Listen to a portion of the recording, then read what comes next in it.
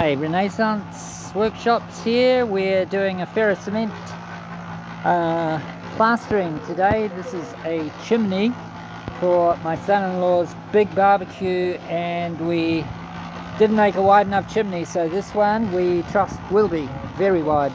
So we've made some arms that are quite thin but uh, they shouldn't impede the smoke and uh, they'll be strong as anything once we've done it. So we've got scaffolding, um, I'll show a little bit about the texture of the, the mix. Um, just sort of like, yeah, it just, it's, it's mud pie. Yeah, the, the thinner mix is easier to push through the four, three or four layers of chicken wire. So over here, this is what we scratch it with after we've done the first coat so that the second coat will hang on. And we are plastering the outside first and letting it ooze through.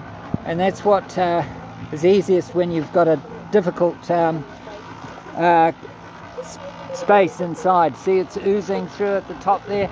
And then we just go inside and uh, smooth it off and add a little bit. So here we are with the mixer and there's honey waiting patiently. So the wheelbarrow is ready. Excuse the noise. So we've got clean river sand, preferably, um, and we have the fibre, which in this case is Sika fibre, very the very fine stuff, almost like like uh, what dandelion stuff. Um, handful of that. I always wear um, two layers of gloves. One is latex glove, which is easy to move, and the other one is we use this Ninja brand, and it's basically uh, so that you don't stab yourself with the loose, the cut ends of the chicken wire.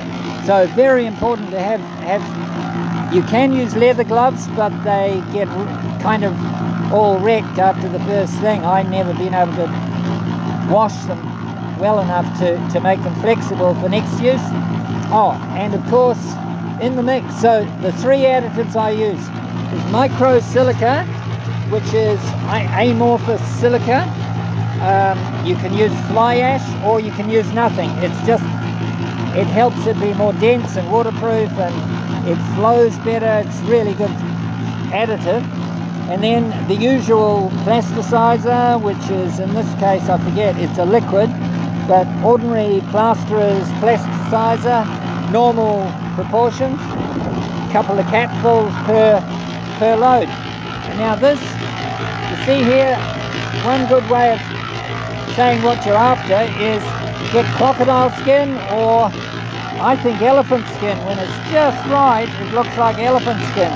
This is a little bit thin, but as I say, when you're doing that first coat, you have to push it right through all of the chicken wire layers and coat everything on the inside, uh, including the rebar. So very important, but um, to get it just the right consistency with water. So I put in water, then the additives, and then make sure there's plenty of water, and then some half the cement or half the sand, and then half the cement, and then which is one bag per 120 kg normal sand uh, cement. And uh, put in I cut it in half with a with a this kind of knife and then just flick it up. So you got two half bags. You put one in then cement then sand I mean bucket of sand. So the the mix end, ends up being around two to two and a half to one. Two and a half sand one of cement but then the microsilica up to 10% by weight uh, of, of the cement. You can actually substitute but I add. So you got 10% so say 2 kilograms of silica 20 kilograms of cement and then the uh, 2 to 1 with sand. Two and a half up to two and a half for the first coat. Second coat you can go a bit a bit weaker maybe 3 to 1 but it, it's, it's it's lovely to spread on when it's it's like butter when it's when it's well mixed and it's uh, um, yeah, about two to two to one, two and a half to one. But of course, if you have too much cement, it can have a tendency to crack if it dries a bit fast or anything. So sand is good.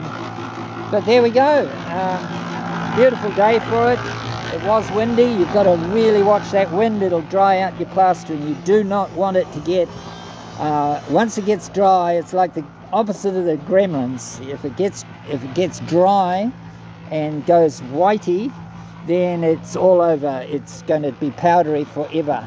So you have to keep it damp. So that's about it. Uh, over and out from, oh, I'll see if I can turn me around. Over and out from Renaissance Workshops up in Butterfly Hill, daughter-in-law and son uh, daughter and son-in-laws. Back to the grind.